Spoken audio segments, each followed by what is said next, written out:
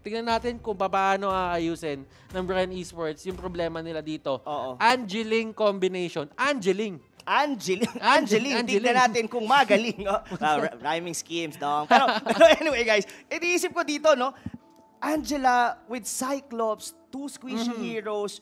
Kumbaga, most of the time, that's gonna be a 4v5 Mm-hmm. kasi the Angela will use his Ah. ultimate on the Yuzong or as well Doon, most of the time, feeling ko sa Yeah. Siya papasok eh. Then, uh, the Ling, uh, ang target niya is gonna be the back lanes, of course. So, that leaves the Cyclops all alone. Mm, ah, Kasi si Hit most of the time hindi naman niya, hindi naman siya yung tipo ng tank or I mean fighter siya. I mean Yeah. tank lang yung uh, role niya na pwede kanyang tulungan like mang mang zone eh, Mhm. 'di ba? So that leaves the Cyclops na vulnerable. So that's where tricky yung yung gusto ko malaman kung how haste pa naman yung gagamit, how he will be able. So most likely mas aggressive yata ang gagawin dito ng Omega. What do you think, Butters, sa lineup na to? I feel that the safe way to do this, the safe way to approach this is have a poke line, uh, poke composition or poke strategy. Mhm. Ano ibig sabihin ng poke strategy? It's more on the idea na hindi talaga kayo nag hindi talaga kayo lumalaban head on. Parang kumukuha lang kayo ng pitas, hinahanap nyo lang kung sino yung mga misposition at yun lang yung tinitake down nyo. And that's it. Hindi pipilit ng laban nandito ng rekta. Siguro pagka dumating yung mid-game at naging okay sa kanila, Mhm. baka dun pwede silang humarap. Pero Hayes dito, as we all know, this guy just has to position well.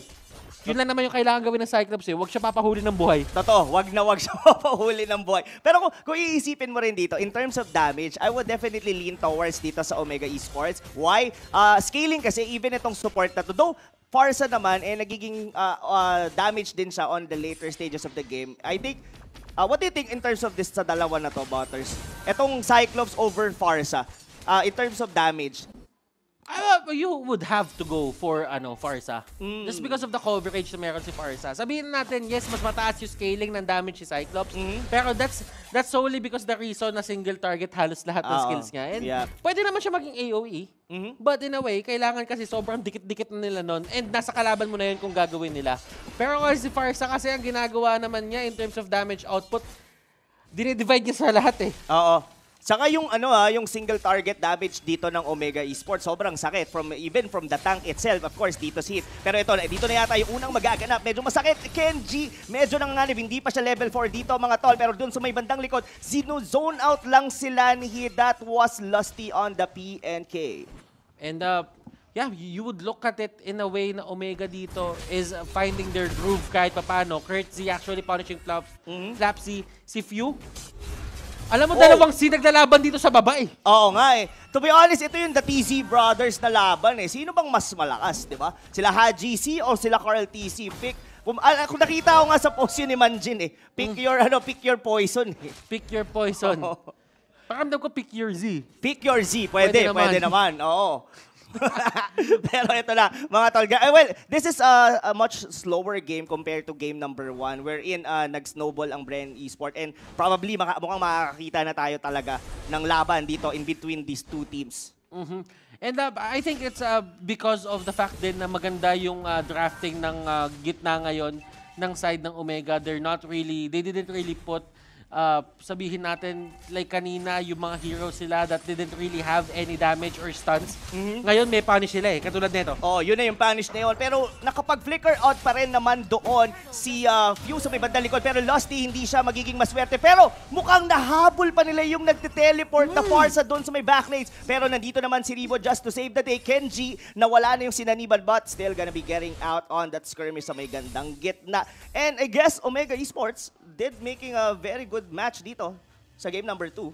Okay, it's all about setups. Cards dito will try to get away. Dating magkampe. Oo. Hinambalos Siya- ni Hit yung dating yung kampe. Totoo. Saan ka pupunta? Nandito para mapuari. Buti na lang hindi siya doon namatay. Pero ang mamamatay, Flap PC, still gonna live doon sa may palakol. Grabe yung axe dito ni Hit. No? I mean, the damage from the Hilda, kanina yun din yung ah, naging reason kung bakit sila nag-snowball yung Bren, eh, di ba? Sa game number one. Kasi they almost had, ah, I think that was few. Pero dito on game number two, mas ramdam mo rito si Hit. Mhm. Uh, the thing is, nung uh, game number one kasi is they didn't really have the best setup. I mean, yung uh, Omega doon, they collapsed in the middle lane pa lang. As Oo. early as 2 minutes, as early as the first minute of the game, nagkaroon na agad sila ng problema. Ngayon, si, alam mo, si Haji, I think this is a much better game for him considering na nakakuha siya ng kill. Mm. Totoo, totoo naman. Pero to, the feathered airstrike will be used. But Flap PC, medyo nabura yata siya doon ng Yuzhong. Pero nandito na yung Dragon. Sa Iha, tinawag na dito. Sa may bandang likod na ko, Carl TC, medyo nanganganib. But the turtle has been steal by Carl TC. Pero Rebo, Avatar of the Guardian, just to get out. Pero sabi dito ni Ha, GC, hindi kita patatakasin. Dong, into the backlanes. May Oh! labang nagaganap. Haze, buburahin muna dito ni Carl TC. And that's gonna be it, mga kaibigan. That's a one-for-one exchange. Tingin ko, lumamang doon ang Brand Esports just by having that turtle.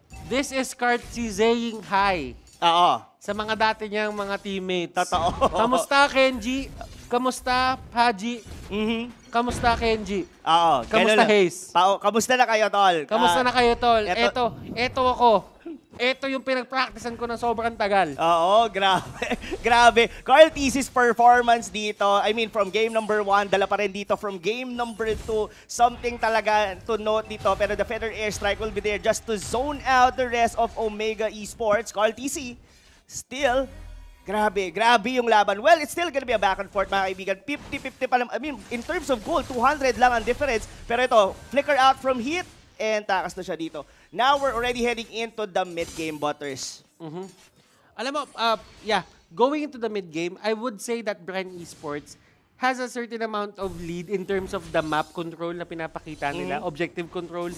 Kasi hindi, tinan mo, kung yung ginagawa dito ni, ano, ni Lance, na yung sa may bottom, kinukuha niya lang yung mga jungle monsters dito ng side ng Omega. Oo. And Omega doesn't really have an answer to that. Si, ku- kung sino yung nawalan ng turret sa baba, Ah. sila pa yung may lakas ng loob mag-invade dun sa kabila. Oo nga eh. It rhymes. It really rhymes. Pero yun nga, like what Butter said kasi, on the early stages of the game kasi, the mid lane is yung pinaka-importante aside from the Yeah. side lane. Oo. Pero yun nga, bakit ganon yung nangyari? Das, sila pa nga yung ah, mas nagiging aggressive. Look at the damage. Feather Airstrike. I don't think na mamamatay dito si Curtis. Nag-aabang doon si Hit sa may bandang likod. Di- Dito lumalamang ang ano eh, no? ang Bren Esports, no, Butters. Yung, yung ti- tipong lipad-lipad lang ni, nung Farsa, papunta siyang top lane, pagka ano, may merong ah, laban sa gitna, doon naman ako sa gitna. Yung mobility itself ng isang Farsa and the damage na binibigay ng ulti niya. Mhm. Pero alam mo na naman dito, priority ng ulti na binibigay sa kanya, Haji nalaglag. Mm. Oo. Nalaglag sa bakuran. Anong ginagawa mo? Nahulog pa nga doon. Pero yun na nga, yung turtle mawawala, kasama na doon ang buhay. Doon ni Hit, may sunod pang laban. Mag-isa dito, Curtisi, doon nakasanib sa kanya dito yung Angela. I don't think nakakayanin doon. So may bandang likod, that's Flap TC, zoning out. Ace, napilitan siya mag-flicker out. Masyado ka na yatang malalim, Uranus, pero the damage will not be Oh! enough. Curtisi, kalaban si Carl TZ. Grabe naman tong laban na to. Pa, dito tayo matututo talagang mag-rhyme eh, no? Oo. Puro Z kasi lahat ng mag- mabibitaw mong salita eh. Mhm. Alam mo, Rob, hindi ko naman masisisi Oo. yung ah, Omega dito kung bakit nagkakaroon talaga sila ng problema. Look at Mm. Popol dito and look at Lusty and Rebo, yung performance sila dito on how they actually go in dito sa mapa ng kalaban. Totoo. Di-face check, Rebo punishes a lot of the pick-offs na ginagawa ng Omega. Kaya hindi mo din masasabi na totally panalo yung ano eh, Omega Oo. kapag nakakuha sila ng kills. Kasi the mere fact na nandun si Rebo para mag-clean up para sa team niya, napakalaking bagay nun. Oo, malaki talagang ba... I mean, yung in terms of minion wave clear talaga, laging nauunahan ng uh, Bren Esports dito ang O- Omega. Oy! Oh! Tinamaan ng, Grabe. tinamaan ng cursed helmet. Oo, akalain mo yon pero dito, yung dragon ni Kurt TZ, sino nga kaya, gaya mo nagsabi na may magsisisi, yun na nga, dito sa may bandang likod, Flap TC pa din, medyo sino-zone out the rest of the Omega Esports, mga kaibigan. Unti-unti na naman na kinukuha ng Bren Esports ang mapa sa Omega Esports. Dalawa sa kanila ang may curse helmet, if I'm not mistaken. Looking at the aura sa baba nila. Mhm. And, mind you, meron din, meron din dito si Lusty, kung hindi ako nagkakamali. And sa totoo lang, si Popol, yung si Popol din meron. Oo nga, no? so, dalawa yan. So, as long as nakalapit dyan, yung mga kalaban, there is there is a negation. Labanan pala to ng Oo. ano, ng curse helmet, Oo. tol. Tinan mo, kumuha na nga din si Heath. Oo, Nakasama rin, nainggit, sabi niya, "Pre, para- Puso ah. Puso to ah. Uso to. Ito, Pwede. this is the item of the ano, the meta ngayon, nasa 10 hero ban. Kuha nga tayong curse helmet. And to be honest, it's a good it's a good item for both of the teams. Yes, definitely. There are two things there are two things that uh, you should consider kapag ako kuha ka ng curse helmet. It's more on the idea na alam ay hindi, yung yung kay Popol pala, yung puso pa lang, Ah, yung molten oo. heart. Mm. Oh, yung molten heart pa lang. So umangat dito si ano, si Oo. Gatot. Well, Gatot is still Gatot. Kumbaga siya core siya eh. Al- Pero- to, to be honest, Butter, eh, just to butt in, sorry. Ah. Ah, mahilig si Lusty sa ganyang klase ng mga build. Yung, alam mo yung kinukuha nila yung, main, yung ingredient. Parang naalala ko siya dati sa Hylos. Kinukuha niya lang yung bilog na kulay blue. I forgot the name. Doon sa Clock of Destiny. Tapos kukunin niya yung molten core lang. Yung na- elegant gem. Oo, yung elegant gem. Ganon, ganon mag-item build si Lusty. Pero Kenji dito mabubura from the side of Mega Esports. Wow. Brain Esports looking very strong dito sa ating patch ng 10 hero ban mga kaibigan. Paano ba pinapalambot ang ah, meat? Ah, pinapakuluan? Pinapakuluan? Ano pa ginagawa? Pinapalo-palo. Pinapa Oh, Oo. yan yung ginagawa nila ngayon. Pinapalo-palo talaga nila dito. Oo, grabe yung pagpalo. May kasama dong Ibon sa likod. Courtesy dito, bin zone out na naman dito by Bren Esports. At is was that Odil?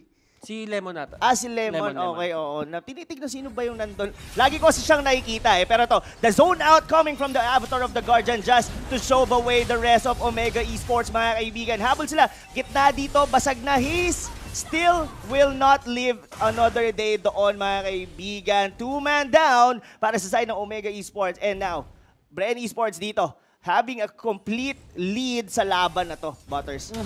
Clearly, Rob, nakikita naman natin dito kahit pumikit ka pa. Mhm. At nakikinig mo lang ngayon yung, yung siege na ginagawa ng Brian Esports, you would know that they're in the lead.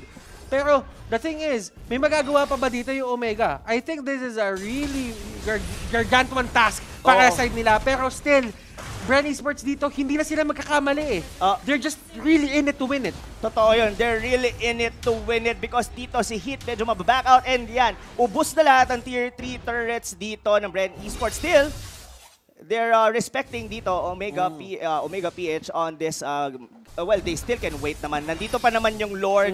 And this makes uh, going back dun sa drafting board na that's that the reason why they are willing to give the Yuzhong because the Farsa it's much worth it. 'Di ba? Kasi kita-kita natin dito, though walang kill dito yung Farsa, nakikita mo kung ano yung gamit ng yung support nila to in terms of being a utility on the whole team. Talagang even the, uh, ano din eh, pag zone out doon sa Dares eh.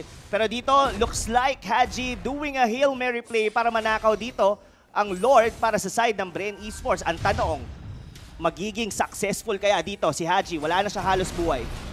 Ito yung tinatawag natin, they're pretty much aware of it at this point. Haji, nahuli siya dun sa may likod, pero would it really matter? Yes, Oh. it will. Cardzi, oh! Oh! Minute to win it. Pero ito na nga, mga kaibigan, courtesy might be going down as well sa kamay ni Carl TZ. Few getting a kill doon sa may backlane. And this might be it. A wipeout for the side of Omega Esports. And that, of course, the teleportation na signature ng Bren Esports will still be there because they already won that match. What